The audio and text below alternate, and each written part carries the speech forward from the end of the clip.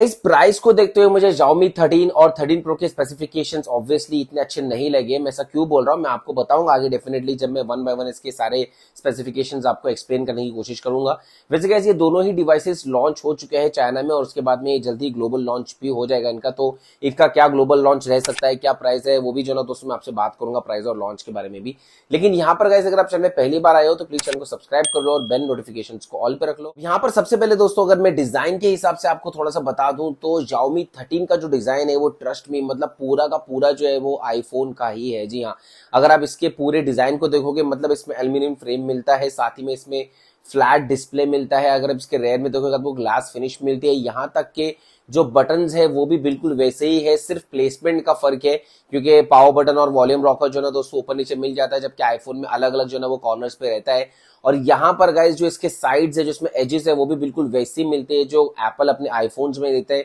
तो यहाँ पर गाइज़ पूरा का पूरा डिट्टो मतलब मुझे आईफोन ही लगा है। मैं आपको एक और एक चीज़ बता दूँ तो इनफैक्ट कहीं ना कहीं पर इसका जो यूआई है, वो भी बहुत ज़्यादा जो है वो आईफोन से इंस्पायर्ड है। क्योंकि जब आप इसका शॉर्टकट पैनल देखोगे तो वहाँ पर आइकन्स के प्लेसमेंट है, वो भी बिल्कुल वैसी ही है, जैसे आईफोन में हमें देखने को मिलते हैं। और यहाँ पर अगर आप मल्टीटास्किंग भी करना चाहते हो तो वो जो ना दोस्तों यूआई भी बिल्कुल एकदम आईफोन के जैसा ही है। ये तो खाली मैं दोनों की बात कर रहा हूँ जॉमी थर्टीन थर्टीन प्रो में। लेकिन कैसे अगर डिज़ाइन वाइज देखेंगे तो जॉमी थर्टीन पूरा डिट्टो जो है ना दोस्तों, वो आईफोन के जैसा ही अगर आप सिर्फ़ इसका कैमरा मॉडल छोड़ देंगे हो क्योंकि कैमरा मॉडल जो है दोस्तों, ये एक्सटेंडेड नहीं है रेयर से अलग से जो ना तो कैमरा का बम्प है। साथ में अगर मैं Xiaomi 13 Pro के बारे में बात करूँगा तो इसमें यही चेंज हमें देखने को मिलता है कि इसमें कर्व्ड डिज़ाइन हमें देखने को मिलता है डिस्प्ले में भी और रेयर में भी। दोस्तों, फटाफट से बात कर लेता हूँ डिस्प्ले फीचर्स के हिसाब से। तो Xiaomi 13 में हमें 6.36 इंच का एक full HD plus AMOLED display देखने को मिल जाता है। 120 हर्ट्ज का रिफ्रेश रेट मिलता है और साथ ही में इसमें 1900 निट्स की पीक ब्राइटनेस मिलती है, जो कि काफ़ी अच्छी बात है। जी हाँ काफ़ी अच्छा लगा। है दोस्तों, अगर आप Xiaomi 13 Pro के डिस्प्ले को देखोगे तो वहाँ पर दो डिफरेंसेस आपको देखने को मिल सकते हैं मेजरली एक तो साइज़ में रहेगा, क्योंकि उसमें 6.7 इंच का डिस्प्ले मिलता है और रेजोल्यूशन में फ़र्क रहेगा, क्योंकि उसमें जो है वो QHD प्लस का रेजोल्यूशन मिलता है। मतलब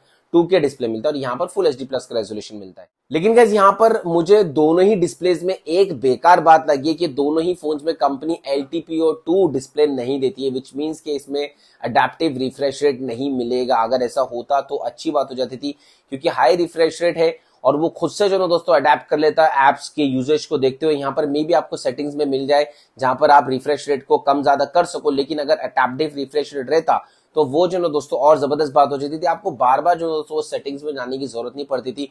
और जिस लेवल का ये फ़ोन है यार मतलब जिस प्राइस रेंज में लॉन्च हो रहा है, उसमें एल डिस्प्ले देना तो बनता है यार, लाजमी बात है। अब दोस्तों, बात करता हूँ फाइनली मैं कैमरा स्पेसिफिकेशंस को लेके तो Xiaomi 13 में हमें ट्रिपल सेटअप देखने को मिल जाता है, जिसमें से 50 मेगापिक्सल का प्राइमरी लेंस है 10 मेगापिक्सल का टेलीफोटो लेंस है 12 मेगापिक्सल का इसमें अल्ट्रा वाइड लेंस है।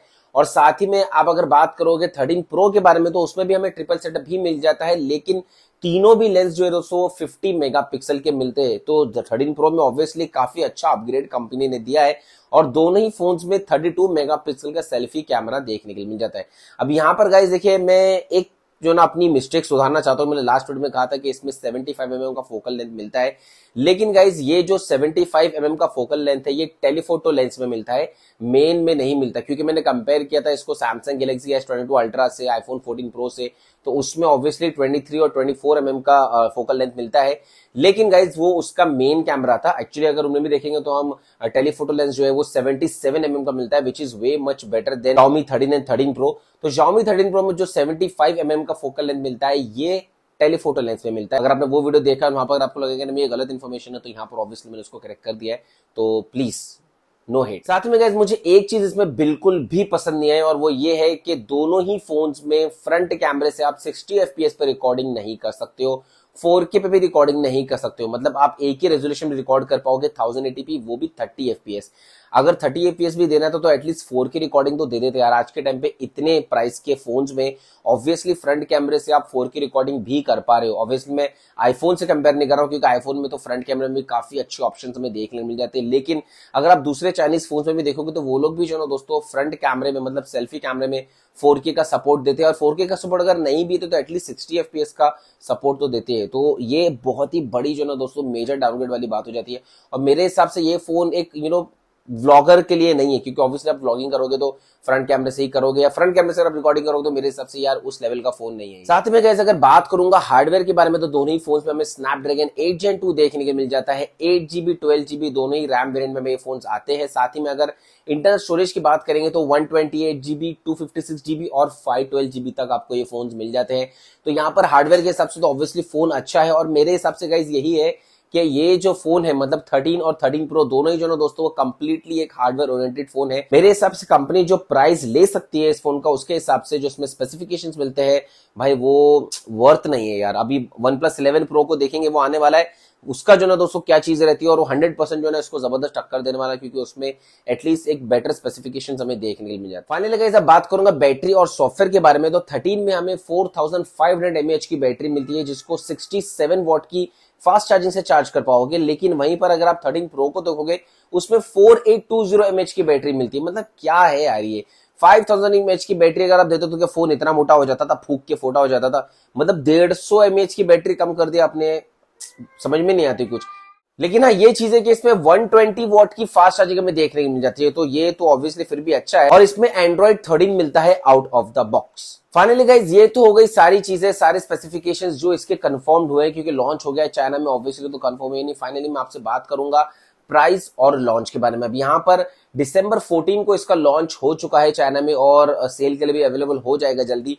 लेकिन अगर दोस्तों ग्लोबल लॉन्च के बारे में बात करूँगा तो मैं तो किसी प्रॉपर न्यूज़ नहीं है, लेकिन ज़्यादातर एक्सपेक्टेशन यही कही जा रही है कि जनवरी या मैक्स टू मैक्स फेब्रवरी के मंथ तक दोनों ही फोन्स का ग्लोबल लॉन्च हमें देखने के लिए मिल सकता है। अब प्राइस अगर देखेंगे तो वहाँ पर तो आ चुका है, वहाँ के हिसाब से प्राइस तो थोड़ा कम होता है, लेकिन इंडिया में ऑब्वियसली प्राइस थोड़ा बढ़ के आएगा, क्योंकि अगर आप डायरेक्टली जो है ना दोस्तों करेंसीज को कन्वर्ट कर दोगे तो तकरीबन फोर्टी या फोर्टी सेवन थाउज़ेंड में आ रहा है, लेकिन ऐसा नहीं है।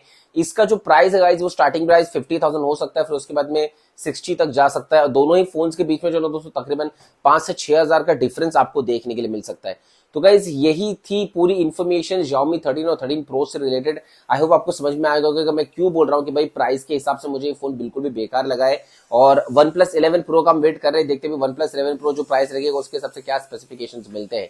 वैसे गाइज़ आपका क्या कहना है मुझे ज़रूर से बताना और अगर आपने अभी तक मेरे चैनल को सब्सक्राइब नहीं किया है, कर लो सब्सक्राइब फटाफट बेल नोटिफिकेशन कॉल पर रखो और हमें इंस्टाग्राम पे भी फॉलो करो at rate Ishan tech world क्योंकि गाइज़ उसमें जो है ना मैं प्रॉपरली रील्स डालता रहता हूँ शॉर्ट्स के काफ़ी अच्छे टेक्निकल रील्स डालता रहता हूँ मतलब इसी से रिलेटेड तो आपको जो है ना वो डेफिनेटली पसंद आएगा। चलिए दोस्तों इंशाल्लाह मैं मिलता हूँ आपसे अपने अगले वीडियो में। जय हिंद।